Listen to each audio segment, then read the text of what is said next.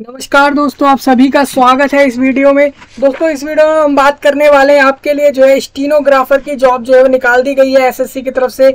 Staff selection commission ने, government of India ने जो है स्टाफ सिलेक्शन कमीशन के द्वारा जो है आपकी नई जॉब निकाल दी है एसएससी के अंदर। आपको बता दूँ, स्टीनोग्राफर जो है यहाँ पर जो जॉब निकाली गई है वो दो अगस्त को निकाली गई है, ग्रेड सी और ग्रेड डी दोनों के लिए निकाली गई है। तो आपसे इस वीडियो में यही बात होगी कि ये जॉब किसके लिए है, कौन इसके लिए अप्लाई कर सकता है मिनिमम एलिजिबिलिटी क्या है सिलेबस क्या है मार्किंग स्कीम क्या है सिलेक्शन पैटर्न क्या है, कितनी सैलरी होगी एज लिमिट क्या होगी क्वालिफिकेशन क्या होगी, और नेशनैलिटी क्या क्या रहेगी रिलैक्सेशन क्या क्या होंगे, सारा कुछ जो है वो डिस्कस किया जाएगा।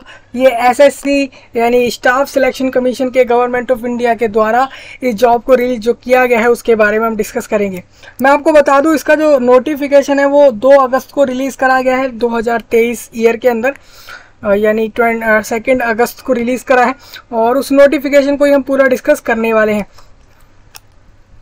सबसे पहले जैसा आप देखेंगे तो ये एसएससी के वेबसाइट पर आपको दिख जाएगा नोटिफिकेशन कोई बड़ी बात नहीं है। आप इसको देखेंगे तो एसएससी के वेबसाइट पर भी इस चीज़ को दिख रहा है। आप को डिस्क्रिप्शन में लिंक मिल जाएँगे, वहाँ से आप जाकर इस चीज़ को देख सकते हैं। आप देखेंगे तो 2 अगस्त पे आपको दिखाऊँ तो यहाँ पे लिखा है notice of stenographer grade C और ग्रेड डी अब बहुत से कैंडिडेट्स या बहुत से लोग ऐसे होंगे जो पूरे कंट्री से, पूरे इंडिया कंट्री से अलग अलग राज्य में से कहीं से भी इस वीडियो को देख रहे होंगे। तो उनको ये जानना तो पहले बहुत ज़रूरी है, स्टीनोग्राफर क्या होता है? बहुत लोग ये सोच रहे होंगे, यार, स्टीनोग्राफर होता क्या है? हमें यही नहीं पता तो हम इसकी जॉब के लिए अप्लाई कैसे करें? तो सब डिस्कस होगा। स्टीनोग्राफर एक टाइपिंग का काम होता है टाइपिस्ट की तौर पर होता है, लेकिन आप देखेंगे तो ये जो है, एक ऐसा काम होता है जो कि बहुत ज़्यादा स्पीड माँगता है आपके टाइपिंग में। तो वो सब कुछ होता है। हम उसी को डिस्कस करेंगे और बट बट अगर आप देखेंगे तो ये अगर एसएससी की तरफ़ से आया तो ये गवर्नमेंट जॉब है और जो कि एक सेंट्रल गवर्नमेंट जॉब है तो उसके बारे में ही हम पूरा डिस्कस करने वाले हैं। सबसे पहले आप देख लीजिए, ये नोटिफिकेशन इसको डिस्कस कर रहे हैं हम। आपको यहाँ पे तेईस अगस्त तक का समय दिया गया है दो हज़ार तेईस में अप्लाई करने का। और जो भी कैंडिडेट्स अगर गलती करते हैं फॉर्म भरते में अभी आप तेईस अगस्त तक फॉर्म भरेंगे, कोई गलती होती है तो आप उसमें चौबीस और पच्चीस अगस्त को जो है, उसमें चेंज कर सकते हैं। दो दिन का समय है। अक्टूबर में आपका एग्ज़ाम लिया जाएगा। ये यहाँ पे कंप्यूटर पे एग्ज़ाम होने वाला है। जो भी इस एग्ज़ाम को पास करेगा इंटरव्यू को पास करेगा, उसी को जॉब मिलेगी ये वाली। सैलरी क्या होगी वो सब हम डिस्कस कर लेंगे। और अक्टूबर के मंथ में इसका एग्ज़ाम है, आप देख सकते हैं कि भाई अगस्त में फॉर्म भर रहे हैं, सितंबर पूरा ऐसे ही आपको मिल जाएगा और अक्टूबर में इसका एग्ज़ाम लिया जाएगा। हम यहाँ पे बात करेंगे वैकेंसी की तो देखिए ग्रेड सी की अलग वैकेंसी है और ग्रेड डी की अलग वैकेंसी है। एसएससी मतलब एसएससी जो है वो स्टाफ सिलेक्शन कमीशन है। वो एक ऐसा कमीशन है जो अलग अलग स्टाफ के डिपार्ट अलग अलग डिपार्टमेंट्स के लिए स्टाफ को सिलेक्ट करता है। चाहे वो खासकर सेंट्रल गवर्नमेंट्स के ऑफ़िस के अंदर डिपार्टमेंट्स के अंदर, जो कि पूरे इंडिया के अंदर होते हैं अलग अलग जैसे आप देखेंगे तो central administrative tribunal for stenographers only stenographers के लिए यहाँ पे ली जा रही है। आप देखेंगे तो यहाँ पे आपको ग्रेड पे जो होगा प्री रिवाइज्ड आप देख सकते हैं यहाँ पे चार हज़ार छह सौ रुपये ग्रेड पे है। ग्रेड पे मतलब ये आपके सैलरी के ऊपर होता है एक्स्ट्रा होता है। इसको, इसका ऐसा नहीं होता कि ये आपकी सैलरी में से अलग होता है या सैलरी में से माइनस होता है। ऐसा नहीं होता है। यह आपका जो वो है, ये आपको अलग से दिया जाता है सैलरी के साथ। आपको जो पूरा सैलरी मिलता है, उसके अंदर इसको भी आपको दिया जाता है। ये अलग से होता है आपका। आपको दिखा दूँ तो यहाँ पर आपका स्टीनोग्राफर का इस डिपार्टमेंट में एक लिया जा रहा है ग्रेड सी का। इस बात को समझिए स्टीनोग्राफर यहाँ पे दो ग्रेड में ग्रेड ए सी और डी है।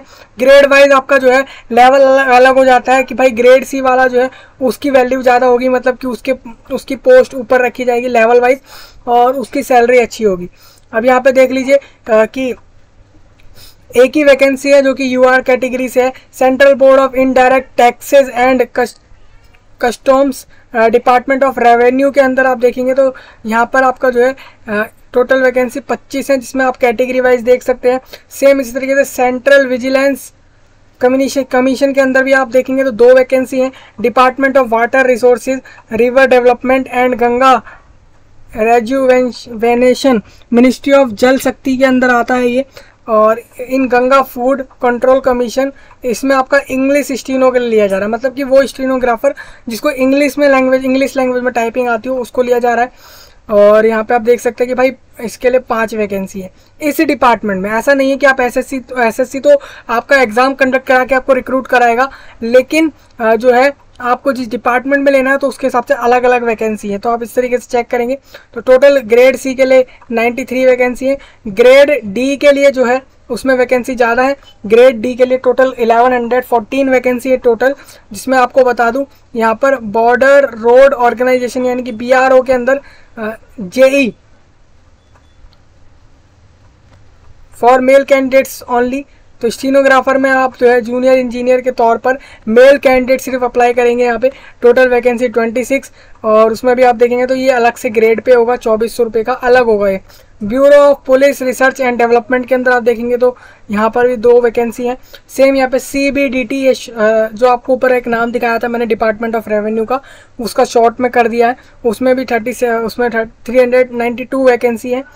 अब देखेंगे हम सेंट्रल एडमिनिस्ट्रेटिव ट्राइब्यूनल। इसके अंदर आप देखेंगे तो इसमें स्टीनोग्राफर का जो है, स्टीनोग्राफर्स के लिए सिर्फ़ निकाली गई है, जो कि चार वैकेंसी निकाली गई है। सेम इस तरीके से आप चेक कर लेंगे। देखिए, यहाँ पे मैं आपको बताऊँ तो डीओपी डिपार्टमेंट का नाम है, शॉर्ट में है, ऊपर आपने देखा होगा इसी का नाम। तो उसके अंदर चार सौ सत्ताईस वैकेंसी और इस तरीके से जो है, आप ये पूरा वैकेंसी चेक कर लेंगे। टोटल आप देखेंगे तो ये 1114 वैकेंसी ये है और 93 वैकेंसी जो है वो दूसरे वाली जो आपको अभी दिखाए गए जैसे आप देख लीजिए कि ये आपका जो है 93 93 वैकेंसी आपके ये है। यानी कि आप देख लीजिए 1114 और प्लस 100 यानी कि 1214 माइनस सेवन यानी कि 1207 वैकेंसी टोटल निकाली गई है आपके लिए जो कि एसएससी की तरफ़ से स्टीनोग्राफर्स के लिए निकाली गई है, जो भी स्टीनोग्राफर्स के लिए अप्लाई करें। सबसे पहले रिजर्वेशन सुटेबिलिटी बता देता हूँ पोस्ट के लिए। अब देखिए, यहाँ पर पर्सन विद डिसेबिलिटी वाले कैंडिडेट्स अप्लाई कर सकते हैं, जिनको कोई डिसेबिलिटी हो अप्लाई ज़रूर करें। और आ, साथ में हम यहाँ बात करेंगे जैसे कि स्टीनोग्राफर ग्रेड सी के लिए फंक्शनल रिक्वायरमेंट ये होनी चाहिए। आप अगर डिसेबिलिटी कैंडिडेट्स में हैं तो S S T W B N R W S C H और सी ये सारे फंक्शनल रिक्वायरमेंट है फुलफिल करने हैं किस किस को करने हैं।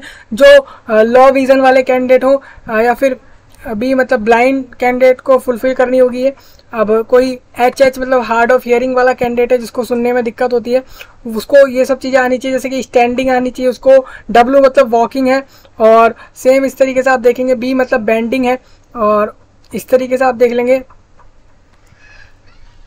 ये सब आने चाहिए। स्टीनोग्राफर ग्रेड डी के लिए भी यहाँ पे लिखा हुआ है, आप देख सकते हैं। फंक्शनल रिक्वायरमेंट मतलब है कि ये सब चीज़ें आनी चाहिए, वो कर पा रहा हो, वो डिसेबल कैंडिडेट जो इस कैटेगरी में आ रहा है दूसरे कॉलम में। मैं आपको दोबारा बताऊँ, ये वाला कॉलम जो दिए गए हैं, ये वाले जो आपको दिख रहे हैं, ये वाले बॉक्स जो दिख रहे हैं, ये वो हैं जो आपकी डिसेबिलिटी इनमें से कोई हो सकती है। उस, आपकी जो भी इनमें से डिसेबिलिटी होगी तो उसमें आपको ये वाली फंक्शनल रिक्वायरमेंट फुलफिल करनी है, ये सब आपकी फुल होनी चाहिए।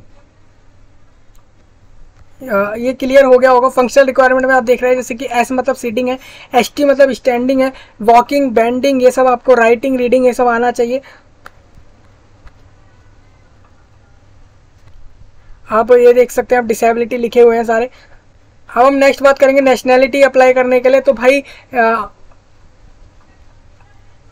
यहाँ पर नेशनैलिटी में बता दूँ इंडिया से कहीं से भी आप अप्लाई कर सकते हैं। नेपाल, भूटान जैसे कंट्री से अगर कोई कैंडिडेट आ चुके हैं परमानेंटली सेटल हुए इंडिया के अंदर, अपने परिवार के साथ 1962 के फ़र्स्ट जनवरी से पहले पहले शिफ्ट हुए थे तो वो अप्लाई कर सकते हैं।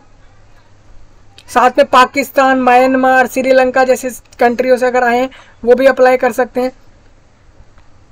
अब हम बात करेंगे एज लिमिट की तो एक अगस्त को आपकी जो भी एज होगी 18 होगी, अगर आपकी 18 एज हो गई है एक अगस्त 2023 को तो आप अप्लाई करिए। सेम इसी तरीके से 18 से 30 के बीच की एज में आप अप्लाई कर सकते हैं। नेक्स्ट हम इसमें आगे बढ़ेंगे। तो हम देखेंगे भाई कैटेगरी में आप देख सकते हैं, पाँच साल का एस सी को ओबीसी को तीन साल का डिसेबल कैंडिडेट को दस साल का, इस तरीके से आपके रिलैक्सेशन लिखे हुए हैं। आप रिलैक्सेशन चेक कर लेंगे। सेंट्रल गवर्नमेंट के एम्प्लॉय जो होंगे किसी डिपार्टमेंट में तो उनको भी एज में रिलैक्सेशन है। अब हम बात करेंगे रिलैक्सेशन के आगे। Process of certificate and format यहाँ पर जो भी रिजर्वेशन कैटेगरी से अप्लाई कर रहे हैं एज में छूट लेने के लिए तो उनको इतना याद रखना है कि भाई उनको सर्टिफिकेट सबमिट करना है फॉर्म के साथ ताकि उनको रिलैक्सेशन मिल पाए। वो फॉर्म भरते में ही सबमिट करा जाएगा। तभी आपको रिलैक्सेशन मिलेगा। मान लीजिए कोई कैंडिडेट ऐसा है जो तीस साल का हो गया है, और वो चाह रहा है स्टीनोग्राफर के लिए अप्लाई करना तो उसको एज में रिलैक्सेशन तभी मिलेगा जब वो जो है सर्टिफिकेट जो है अपने कैटेगरी का सबमिट करेगा। चाहे वो मेल हो फीमेल हो, कोई भी कैंडिडेट अप्लाई कर सकता है। अब हम नेक्स्ट इसमें बात कर रहे हैं एसेंशियल क्वालिफिकेशन ये है कैंडिडेट ट्वेल्थ पास होना चाहिए। बोर्ड किसी बोर्ड यूनिवर्सिटी से वो पास हो अपना ट्वेल्थ चाहे वो सी हो आई हो स्टेट बोर्ड हो गवर्नमेंट का कोई भी बोर्ड हो बोर्ड एग्ज़ाम अपना बारहवीं पास होना चाहिए, किसी भी स्ट्रीम से हो सकता है। ये आपका मिनिमम जो है क्वालिफिकेशन लिया जाएगा। यहाँ कोई ग्रेजुएशन नहीं ली जा रही।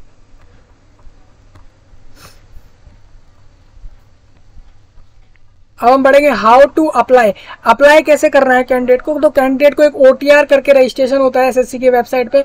वन टाइम रजिस्ट्रेशन वो आप देख सकते हैं वीडियो जो आपका एसएससी फ़ेज़ इलेवन का था, उसमें फॉर्म भरवाया गया था जब जो आपका इसका जॉब का था. तो उसमें आप देखेंगे तो आपको पता लग जाएगा कि फॉर्म कैसे भरना है. मेनली रजिस्ट्रेशन कैसे होता है, वहाँ से आप देखेंगे तो रजिस्ट्रेशन पता लग जाएगा। पहले एक बार में रजिस्ट्रेशन होगा, फिर आप अपने जो है, अपना रजिस्ट्रेशन आईडी पासवर्ड डाल देंगे जो आप बनाएँगे रजिस्ट्रेशन के समय। उसके बाद लॉगिन करके आप देखेंगे तो आपको स्टीनोग्राफर का फॉर्म दिखेगा। फिर आपको भरना कैसे है, उसमें अपना पर्सनल डिटेल डाल दीजिए, अपना जो है आईडी की डिटेल डाल दीजिए आईडी प्रूफ अपलोड करिए फ़ोटो साइन अपलोड करिए ट्वेल्थ की मार्कशीट अपलोड करिए कैटेगरी सर्टिफिकेट अपलोड कर दीजिए और अपना जो है ये सब करके सारी डिटेल्स भर के पोस्ट सिलेक्ट करके, वैसे तो ग्रेड जो आप स्टेनोग्राफर वाला ग्रेड पोस्ट सिलेक्ट करेंगे, उसके बाद फॉर्म फ़ीस जो आपकी है, उसको फिल कर सबमिट करके जो है आप सबमिट कर सकते हैं फॉर्म को। ये तरीका होगा। यहाँ पे साइज़ भी लिखे हुए हैं फ़ोटो साइन के आपको किस साइज़ में अपलोड करने हैं। सौ रुपये फ़ीस है। अब देखिए, मैं आपको बता देता हूँ S C S T candidates होंगे या डिसेबल कैंडिडेट्स होंगे, या ऐसे कैंडिडेट होंगे जो किसी रिजर्वेशन कैटेगरी से हैं, उनको फ़ीस पे नहीं करनी है। स्पेशली सारे फीमेल कैंडिडेट्स जितनी भी औरतें या फिर वुमेन कैंडिडेट्स अप्लाई करेंगे, उनको फ़ीस नहीं पे करनी, चाहे वो किसी भी कैटेगरी से हों। फ़ीस ऑनलाइन पे होगी, जैसे कि आपको बताइए कि ऑनलाइन फॉर्म भरा जाएगा और एंड में फ़ीस पेमेंट जो है वो जो है आपकी हो जाएगी। सेंटर ऑफ़ एग्जामिनेशन आपको बता देता हूँ।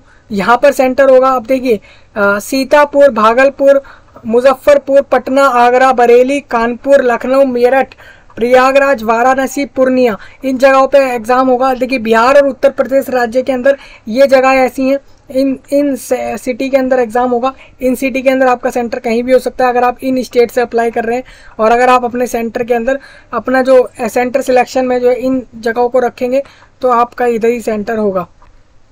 Same Andaman and Nicobar Orissa Jharkhand Sikkim, West Bengal जैसे राज्य से भी अगर आप अप्लाई करेंगे तो आपका देखिए रांची, पोर्ट ब्लेयर, भुवनेश्वर, संभलपुर, गंगटोक, कोलकाता, सिलीगुड़ी जैसी जगहों पर जो है होगा एग्ज़ाम। ये आपकी जगहें हैं, इसके अंदर आपके सेंटर हो सकते हैं, इन सिटी के अंदर।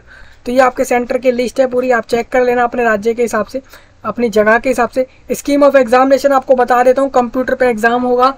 एग्ज़ाम तीन पार्ट में हो रहा है general intelligence and reasoning general awareness English language and comprehension आएगा। इंग्लिश लैंग्वेज एंड कॉम्प्रहेंशन जो है वो सौ नंबर का होगा, वो ज़्यादा इसलिए रखा गया है क्योंकि ये एग्ज़ाम स्टीनोग्राफर का है और मेनली अगर इंग्लिश वाला रहा स्टीनोग्राफर में इंग्लिश लैंग्वेज इंपॉर्टेंट रहेगी टाइपिंग की नॉलेज और उन सब के हिसाब से। तो इसीलिए जो है ये पोस्ट आप देखेंगे तो यहाँ पर आ, ये इसका सिलेबस जो है वो ज़्यादा आ रहा है। और दो घंटे का समय मिलेगा चालीस मिनट उनको मिलेंगे जो डिसेबल कैंडिडेट्स होंगे।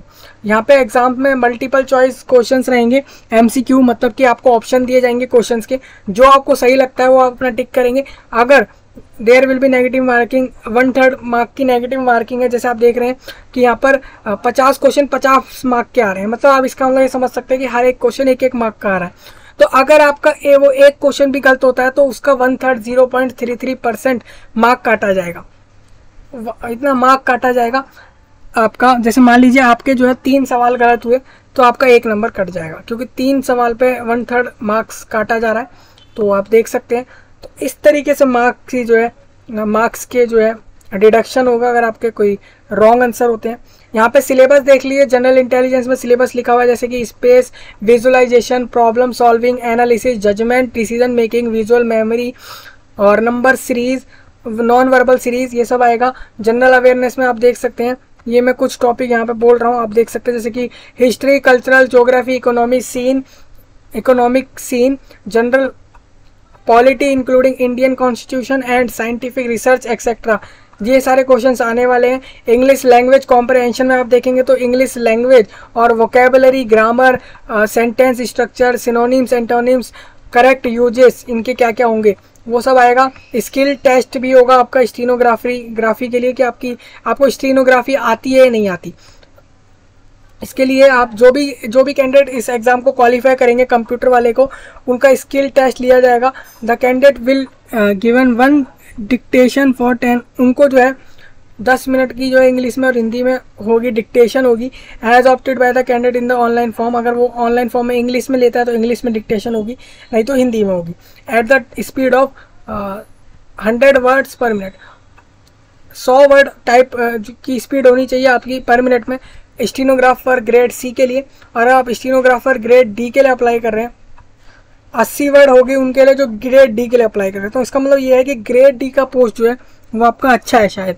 कि उसमें जो है, वो आपका जो है the matter will have to be transcripted on computer computer पे लिखा जाएगा टाइप किया जाएगा आपके द्वारा। आप देख सकते हैं कि भाई स्किल टेस्ट में आप देखेंगे तो इंग्लिश में जो होगा टाइम ड्यूरेशन आप देख लीजिए। स्टीनोग्राफर ग्रेड डी में इंग्लिश लैंग्वेज में स्किल टेस्ट जो हो रहा है वो पचास मिनट्स का होगा और इन minutes time duration for the candidate जो कि एलिजिबल है स्क्राइब के लिए। यानी डिसेबल कैंडिडेट है या फिर ऐसे कैंडिडेट है जो अपना एग्ज़ाम लिखने में डिसेबल है देने में डिसेबल है और वो किसी स्क्राइब को अरेंज कर रहे हैं अपने एग्ज़ाम के लिए। एसएससी आपका स्क्राइब अलाउड अरेंज करवाता है आ, क्योंकि ये गवर्नमेंट एग्ज़ाम है तो वो भी आप करवा सकते हैं खुद से भी अरेंज कर सकते हैं। तो उनको जो है ट्वेंटी मिनट एक्स्ट्रा मिल जाएगी। फिफ्टी मिनट के एग्ज़ाम में। तो इस तरीके से आपका होगा आप ये पूरा देखेंगे अच्छे से। एडमिशन टू द एग्जामिनेशन आपको बता ही दिया गया है कंप्यूटर एग्ज़ाम सबसे पहले लिया जा रहा है उसके बाद स्किल टेस्ट लिया जाएगा। ये आपके जो है डॉक्यूमेंट जैसे आपको मैंने बताया भी एक आईडी प्रूफ आप ज़रूर लगाएँगे फॉर्म भरते में। जैसे वो, वो वोटर आईडी कार्ड हो सकता है driving licence PAN card passport Aadhaar card जैसी चीज़ों में से कुछ भी एक हो सकता है। स्कूल, कॉलेज का आईडी कार्ड भी यहाँ पर ले लिया जाएगा।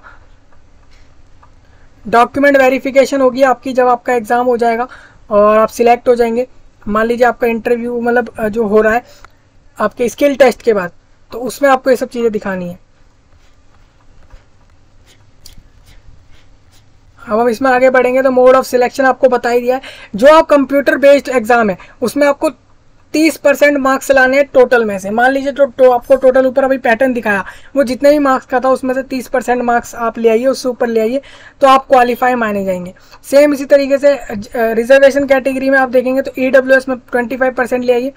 अदर कैटेगरी जो आपके एस सी एस टी है उसमें ट्वेंटी परसेंट ले आइए। ये ट्वेंटी परसेंट मार्क्स है नॉट कि भाई ट्वेंटी मार्क्स नहीं है ट्वेंटी परसेंट मार्क्स है।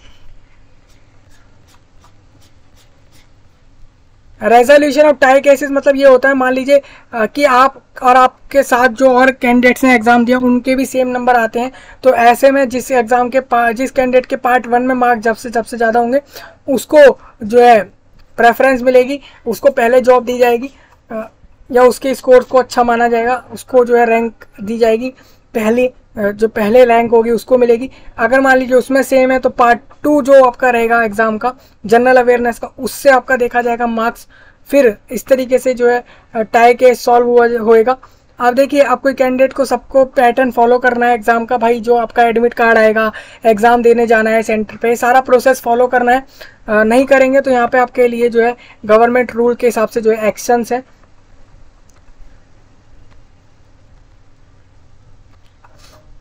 एक्शंस यही है डिपार्टमेंट्स होते हैं, जो गवर्नमेंट रूल्स के हिसाब से होते हैं कमीशन डिसीज़न फाइनल अब मैं बात करता हूँ यहाँ पे। ये इंपॉर्टेंट इंस्ट्रक्शन है, इसको आप चाहें तो देख सकते हैं, छोड़ भी सकते हैं। हम यहाँ पे बात करेंगे सर्टिफिकेट रिगार्डिंग फ़िज़िकल लिमिटेशन जो कैंडिडेट फ़िज़िकल लिमिटेशन के कारण मान लीजिए एग्ज़ाम नहीं लिख सकते तो वो इस सर्टिफिकेट को फिल करेंगे और इसमें जो है मेडिकल ऑफिसर जो भी होंगे उसके सम साइन कराएँगे, स्टैंप लगवाएँगे और इसके बाद इसको सबमिट करेंगे फॉर्म के साथ, जिससे कि उनको स्क्राइब अलाउड किया जाए एग्ज़ाम के लिए। आप देख सकते हैं, वही लिखा है। अब नेक्स्ट यहाँ पे ये है। ये डिसेबल कैंडिडेट का सर्टिफिकेट है। ये अंडरटेकिंग है फॉर यूजिंग ओन स्क्राइब अगर आप खुद से स्क्राइब अरेंज करेंगे तो ये सर्टिफिकेट भर के सबमिट करेंगे। ये आपको अभी ही डिसाइड कर लेना है फॉर्म भरते समय। स्काई वाला फैसिलिटी जो भी कुछ है, वो सब अभी कर लेना है। ऐसा ना हो कि आप बाद में सोचें इसके लिए। फॉर्म भरने के लिए ओटीआर मैंने आपको बता ही दिया है। सब आपको करना होगा। ये आप देख सकते हैं पूरे स्क्रीनशॉट के तरीके से भी बताया हुआ है कि रजिस्ट्रेशन कैसे होगा। इसके बाद फॉर्म कैसे भरा जाएगा, वो भी मैंने आपको भी बता ही दिया है। इसमें उसके भी स्क्रीनशॉट आपको दिख जाएँगे। फॉर्म भरने के बाद आप देख सकते हैं यहाँ पे। आपका जो है फॉर्म है जो कि गवर्नमेंट सिविल एम्प्लॉय हैं और उनको एज रिलैक्सेशन चाहिए तो वो ये सर्टिफिकेट भर के सबमिट करें। ये डिफेंस पर्सोनल होंगे जो आर्मी नेवी जैसे जगहों से अप्लाई कर रहे हैं with the armed forces on the तो वो लोग इसको भर देंगे। ये एक्स सर्विस मैन के लिए आर्मी को डिफेंस पर्सोनल वाला भरना है आर्मी वाले कैंडिडेट को, और एक्स सर्विस मैन को ये भरना है। एक्स सर्विस मैन में भी बहुत सारे कैटेगरी होते हैं, आप इसको देख सकते हैं। ये एस सी का सर्टिफिकेट का फॉर्म है। सेम इस तरीके से आप देखेंगे। तो ये ओबीसी कैंडिडेट के लिए फॉर्म है। ये ईडब्ल्यूएस e कैंडिडेट को फॉर्म भरना है ये वाला। सर्टिफिकेट फॉर्म ये डिसेबल कैंडिडेट को भरना है।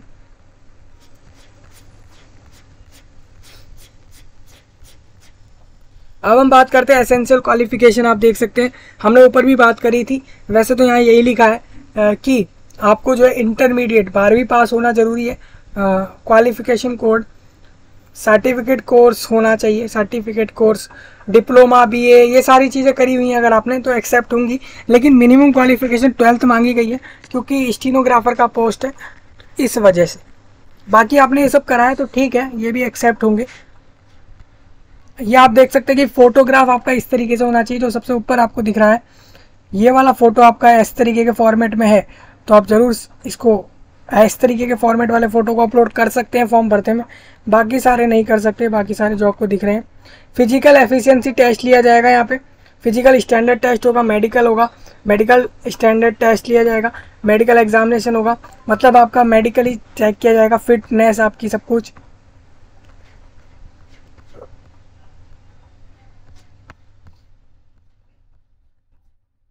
ये आप देख लेंगे।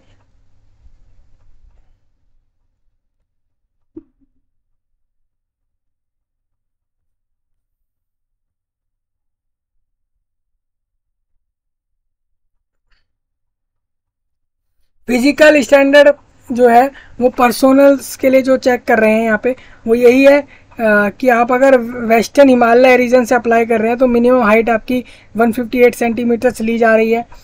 मिनिमम वेट भी देखा जाएगा। तो ये सब आप देख लेंगे मिनिमम हाइट वेट जो भी है आपका।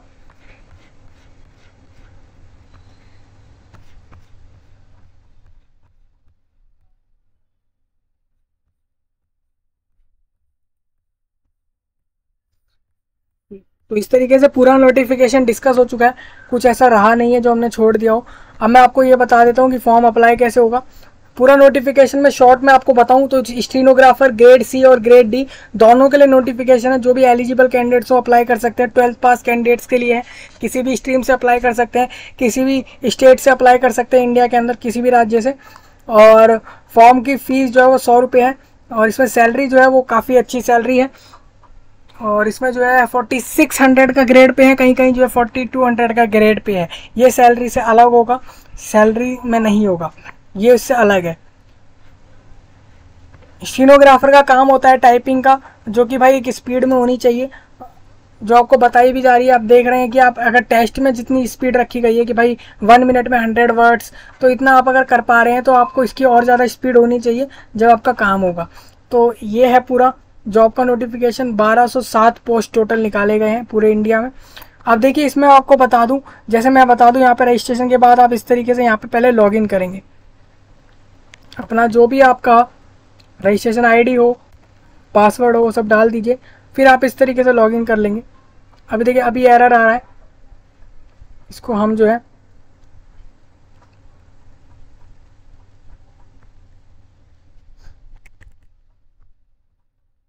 इसको मैं डालता हूँ एक बार फिर से।